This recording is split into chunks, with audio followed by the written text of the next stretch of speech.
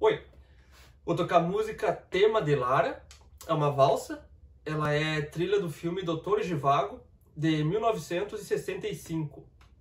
Nem era nascido na época. Só para constar, nós estamos em 2021 e eu tenho 22 anos de idade.